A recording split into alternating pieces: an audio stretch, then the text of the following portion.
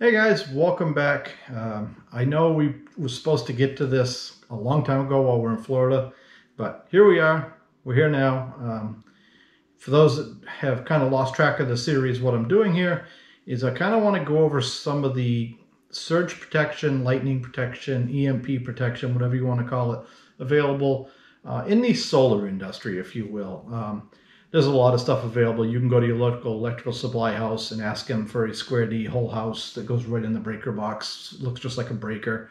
Um, there's a Citel one that goes on the side or goes in. There's a lot of those. Uh, pretty much every one of those is just like the Midnite where it uses the metal oxide varistors, MOVs. They all basically do exactly the same thing. And it all boils down to how much MOV they have and how good they are or how high the voltage the MOV conducts that.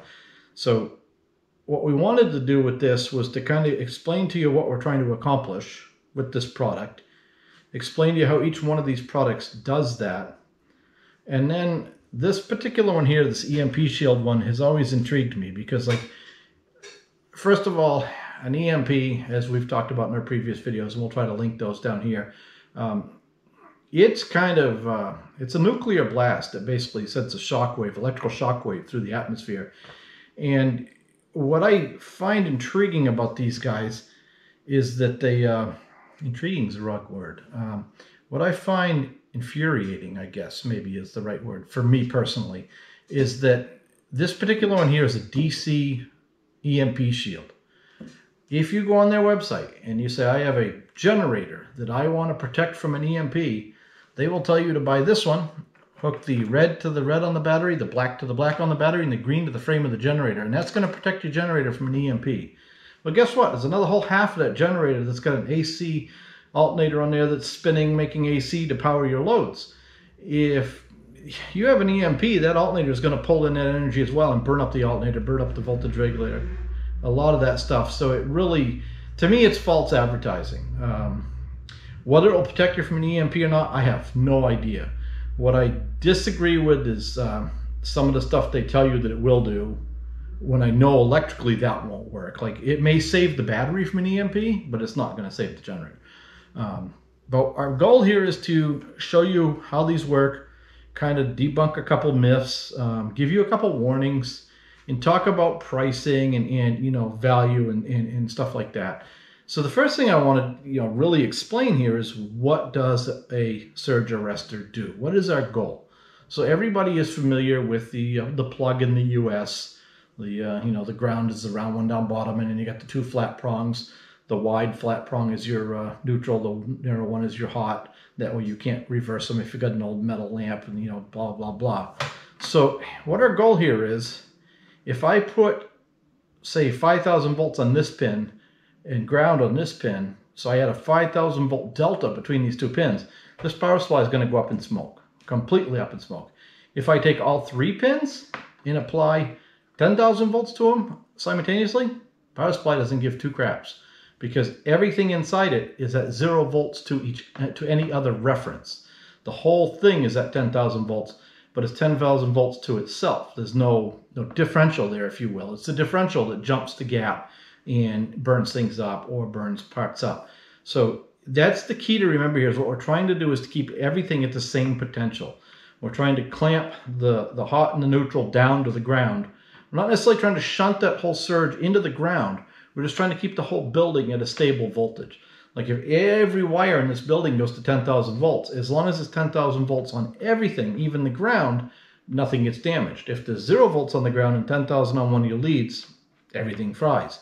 So that's our goal. So keeping that in mind, the, the snake oil in the room that I, maybe snake oil is a harsh word, um, but I, I invite anybody from Delta to come sit down with me on video and explain to me why I'm wrong. Um, this here, when I started in the solar industry, I was buying these by the cases. I was putting these everywhere. I was fat and happy that I was protecting my customer system. And I got a call one day from a customer who had a lightning strike nearby, and this had blown open and sand had fallen out. And that's when we got to looking at it. And uh, all this is is a spark gap. There is literally, and you'll see, we're going to cut these all apart in the next video, but there's literally three metal prongs in a ceramic disc in there, encased in sand. And the spacing on those gaps is going to require about 8,000 volts, maybe 10,000 volts to jump the gap. So if something happens and you've got a, you know, seven, 8,000 volt surge on one leg, it's not going anywhere because it doesn't jump the gap. So that's the real snake oil, if you will, for me. Um, these guys, I have no idea. I suspect it's a quality product. I think that they maybe are um, doing a little scare tactics in their marketing and it's extremely expensive. Um, you're probably looking at 80-ish bucks for this. You're probably looking at about 100 bucks for this on the street, and you're looking at about $350 for this on the street. So I did print out their data sheets, and the the delta arrestor here, um, actually I was wrong. You're looking at like $42 street price for that. So, but you can go to the beach and get some sand cheaper than that. Um, they go on, they're, they're very good at their marketing. They talk about this is silica based so that it acts quickly. And, you know, they, they talk about that. They don't really talk anywhere about what it can do, you know, how much it can handle. They say it can handle 60,000 amps. That's really all they say. They don't talk about, you know, the surge ability or anything like that. The, uh, the Midnite, if you look at that one, you know, they, you come down here, they're talking about 80,000 volts per phase to ground is their, you know, uh, surge current per phase. And if we look at the EMP shield on the side here, they're claiming about 105,000 amps. So they're, what is that, 20% stronger than the Midnite in theory. Um, those numbers are semi-relevant, but semi-not relevant too. Well, you know, it's a, it really boils down to a lot of different variables in the system. The one kudos I'll give the EMP shield, and we're gonna we're gonna find out if it's really kudos, but their AC surge arrestor has a L1 for your hot leg one, an L2 for your hot leg two, and a neutral. Uh, one of the things that I've stressed a lot is that you need to protect the neutral. That breaker panel over there, you guys probably can't see, but that breaker panel over there is a sub panel out here in the shop. It's got about 100 feet of wire feeding it. And that neutral in that breaker panel basically is a separate conductor when there's a bad surge because of the resistance in the wire back to the neutral to ground bond. So if I put just one Midnite on there, for example, I've done my L1, my L2, and my ground. Now remember what I said about all three prongs being the same? I've ignored my neutral prong. And if we take a really bad lightning strike, that neutral out here in this area is going to rise way up in voltage. And now I have a delta between my neutral and my hot, and I'm going to burn equipment up. So you really want a couple of these to protect the neutral, you know, and be, and be safe there if you're in a sub panel. So that being all said, I'm going to go ahead and put all that away. I'm going to get off my soapbox. I'm going to explain to you what we're doing here. I'm not actually on a soapbox, I'm on a stool, but we have a 12 volt electric fencer that's capable of about 10,000 volts. And what we're going to do is we're going to hook up one of these at a time and show you what they do, basically. What I expect to happen, just to be perfectly clear, um, I expect the Midnite to basically settle in and not see the needle move at all. Because when it tries to hit the Midnite with 10,000 volts, it's going to clamp. This thing's going to just, you know, not be able to do anything. I expect the EMP, yeah, the EMP shield to do the same thing. I expect that to clamp and not let it do anything. I will be interested to see if the neutral actually conducts to ground at all. You know, if that actually clamps, which if it does, that means they have more equipment in there. And then on this one, I don't expect anything to happen. What I do expect, because this is 10,000 volts, the spacing in here is about 8,000 volts. So I expect every now and then you'll see it stay down at zero because it will spark across the gap. But I also suspect that you'll see a lot of them, it will just hit the whole 10,000 volts every time it ticks. And this is going to not do anything about it. So let's go ahead and start out with this guy. And uh, I'm going to go ahead and I'm going to get it hooked up and I'll bring you back when I get the display ready to go. And this thing charges up a couple times and it'll start ticking the fence. So now it's ticking the fence and it is holding it down at the moment. There you go. See, it popped up to 10. So this is kind of what I would expect because the gap in there is such that uh, about 8,000 volts should conduct across. So you'll notice that every, every now and then it just dump across. Other times it holds it back. So that's I know this is very unscientific, but what I'm trying to show you is that is allowing 10,000 volts through um, quite often. So now let's do the Midnite. And this is the Midnite 300 AC, just to be clear. The 300 AC and DC are the same. They just light the LEDs different. Um, these have LED indicators that tell you they're working. These do as well. Those do not. So now we're going to hook this up. I'd expect it to charge up, but then I'd expect it to tick and never come off the zero mark. So it's charged up. Now it should drop down. And you can, if I'm really quiet, you can hear it ticking.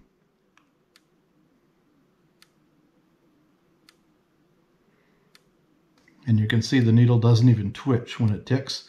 So that's conducting and holding that voltage down to a really safe level for all your equipment. And expect the same thing we saw in the Midnite. It's going to charge up and then when it goes to ticking the fence, it's going to drop down and not wiggle at all.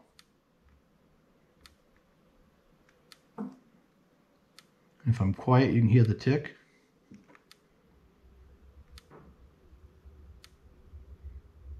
Okay, so now let's hook the neutral up.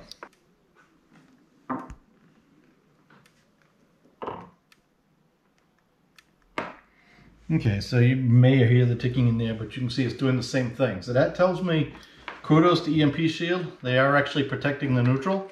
So that's a good thing. Uh, like I said, that definitely makes it a, uh, a little bit easier pill to swallow if you're doing a whole house install because this covers all three legs. Whereas the Midnite you would need two, but the cost is about four times, well, maybe three times the cost of a Midnite.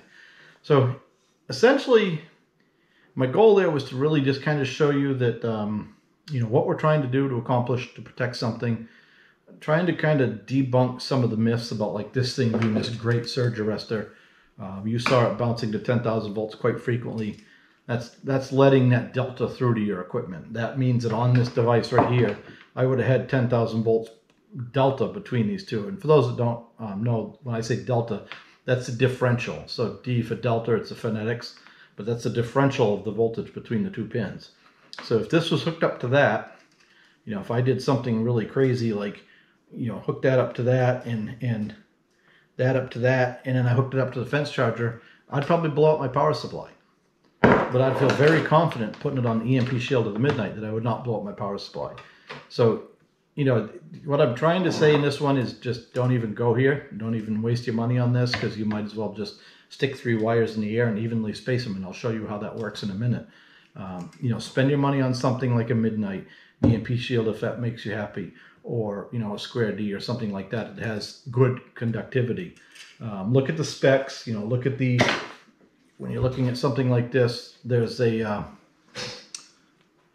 surge current per phase 80,000 amps. That's kind of what you're looking for is that, that surge current per phase. The other thing you're looking for is clamping voltage. So you'll see here the Midnite SPD 300 clamps at 470 volts. If I look at the EMP shield, and I can't read upside down, I apologize for that. This one, this one clamps at 270 volts. So this clamps a little lower. That's actually a little surprising to me that it's that low. Um, that, you know, I'd be a little nervous it might conduct under normal conditions on a high line voltage. This has what they claim is a nanosecond response. I don't think Midnite actually gives a, um, a rating because at the end of the day, it's the MOVs that conduct and it takes a, a period of time. This is a microsecond. I don't know the difference between a micro and a nano. It's both really fast. I really doubt either one would catch a um, the, the, EMP from the you know the near zone. You have the three zones of the EMP, and if you're in close, I doubt any of them are going to help you with that. If you're out farther away, either one of these have a fighting chance, in my opinion. But what we're going to do now, um, I'm going to go ahead and wrap this video up, and what I'm going to do is I'm going to bring you back for part two, and we're going to crack into these.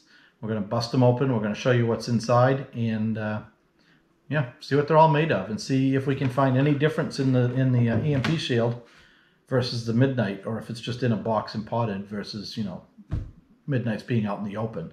Um, this is going to be pretty typical of any of the other surge arrestors on the market. Not necessarily the, the you know, mechanical design of it, but the interior components are going to be pretty typical of what you'd see of a uh, you know, any of the Square D or, or Citel or anything. So I'm really curious to see what's inside one of these. So anyways, hopefully, you know, that was a little bit interesting and hopefully I've enticed you to come back and watch part two because we're getting ready to do that right now and we're going to crack these open and show you what's inside.